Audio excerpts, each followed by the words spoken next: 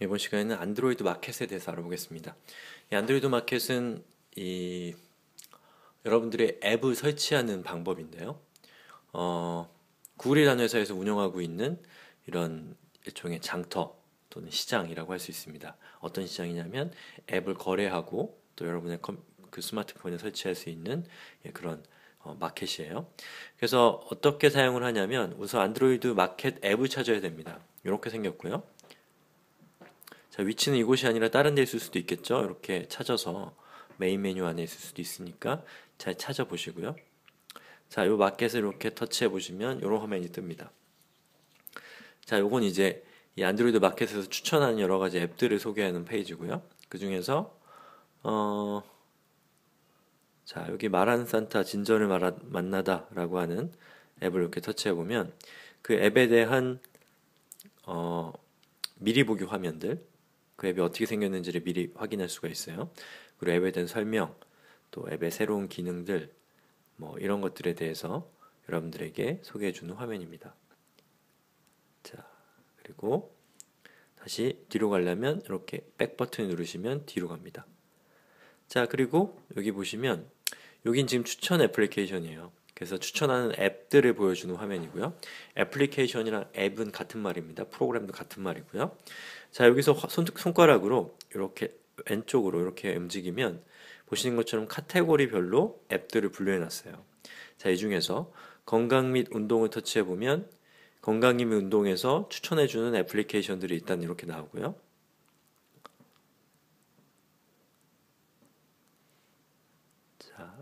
여기서 이렇게 오른쪽으로 하면 건강과 관련된 앱 중에서 어, 인기 있는 앱들을 이렇게 보여줍니다.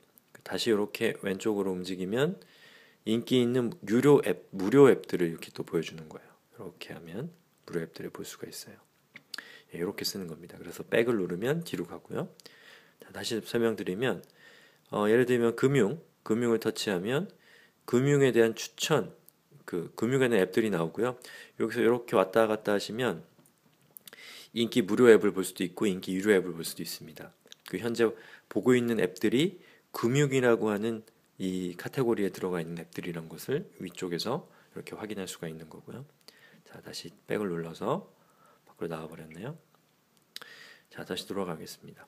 자, 그 다음에는 여러분들이 필요한 앱을 찾는 거 여기 보시면 그 돋보기 모양으로 된 이 버튼이 있습니다. 이 돋보기를 터치하시면 이런 화면이 뜨고요. 여기다가 예를 들면 어, 지하철 자, 제가 잘못 쳤네요. 지 지, 하,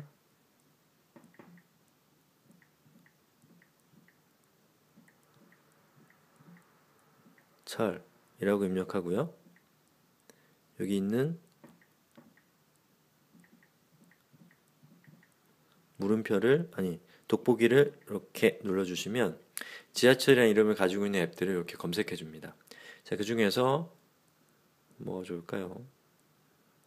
뭐 아무거나 제가 첫 번째 나오는 앱을 이렇게 터치해서 다운로드 버튼을 누르면 이게 설치가 됩니다. 그럼 지금부터 제가 다운로드하는 법에 대해서 알려드리겠는데요.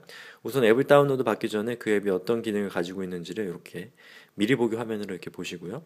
얼마나 많은 사람들이 다운로드를 받았는지도 확인하시는 게 좋죠. 많은 사람이 받은 앱일수록 어느 정도 믿을 수 있고 기능도 괜찮다라고 생각할 수가 있고요.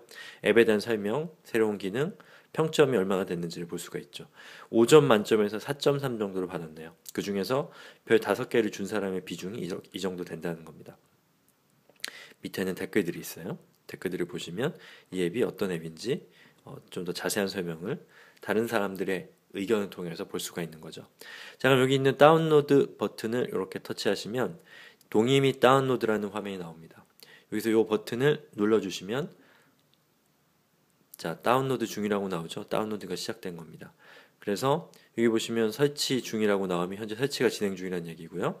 설치가 완료되면 이 위쪽에 지하철 앱을 설치했다라고 나옵니다. 자, 그러면 이 앱을 한번 찾아보죠.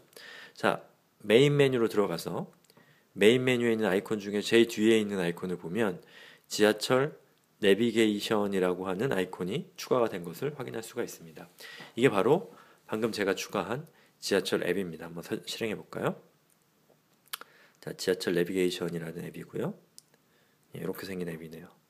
그래서 지하철 안에서 노선도를 파악하는 그런 앱이라고 할 수가 있습니다. 자, 이런 이런 식으로 앱을 다운로드 받으시면 돼요. 자, 그럼 다시 마켓으로 들어가서 이번엔 제가 유로 앱을 다운로드 방법 받, 받는 방법에 대해서 설명을 드리겠습니다. 자, 여기서 이렇게 손 이 터치해서 이렇게 밀어버리면 인기 유료 애플리케이션이 있죠. 그럼 그 중에서 어, 말하는 고양이라고 하는 앱을 제가 터치해 볼게요. 그런 이 앱을 다운로드 받는 페이지가 나오고요. 여기 보시면 이 앱이 현재 1,076원에 팔고 있다라는 것을 알 수가 있네요. 그럼 여기 있는 요 버튼을 클릭하면 탭하면 자 보시는 것처럼 동의 및 구매라고 나오고요. 여기에서 계속을 누르면 신용카드 정보를 입력하는 화면이 나옵니다. 여기에다 카드 번호 그리고 카드 유효 기간 그리고 CVC, CVC가 뭔지 모르시면 여기 있는 조그만 이미지를 탭해 보시면 CVC가 뭔지에 대한 설명이 나옵니다. 거기에 있는 것대로 어, 입력하시고 카드 소유자 이름 적고 여기서 요구하는 정보들을 다 적으시면 돼요. 자 그렇게 다 적은 다음에 저장을 누르면 되는데 아 비자나 마스터카드나 아메리카 익스프레스나 또 하나는 뭐죠? 예, 이런 그 외국에 있는 카드사와 제휴된 카드만을 쓸 수가 있습니다. 그냥 국내에서만 사용할 수 있는 카드를 사용할 수, 카드로는 유료 앱을 다운로드가 받을 수가 없으니까요. 그 점도 참고해 주시고요. 다 입력하신 다음에는 저장을 누르면 그 다음 단계로 넘어갑니다. 예, 저는 신용카드 정보를 어, 지금 가지고 있지 않아서 요, 이 부분은 설명을 생략할게요. 그냥 저쪽에서 요청하는 요구하는 정보들을 잘 입력하시면 잘 하실 수 있을 거예요. 자, 그렇게 해서 유료 앱을 다운받는 겁니다.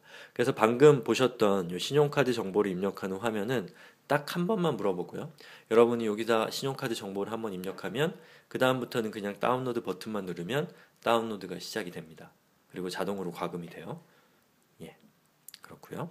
자, 그럼 지금까지 제가 이 앱을 찾고 자기에게 필요한 앱을 찾고 그 찾은 앱을 설치하는 방법에 대해서 알려드렸고요. 이번에는 앱을 삭제하는 방법에 대해서 설명을 드리겠습니다. 자, 앱을 삭제할 때는 메인 메뉴로 들어가셔서 여기 보시면 작업 관리자라는 앱이 있습니다. 이 작업 관리자라는 앱을 이렇게 터치하시면 보시는 것처럼 요 위쪽에 실행 목록, 프로그램, 램 관리, 저장 관리, 저장 공간 이렇게 나와 있습니다. 그 중에서 프로그램을 터치하신 다음에 그 중에서 여러분들이 삭제하고 싶은 앱을 선택해서 삭제하시면 됩니다.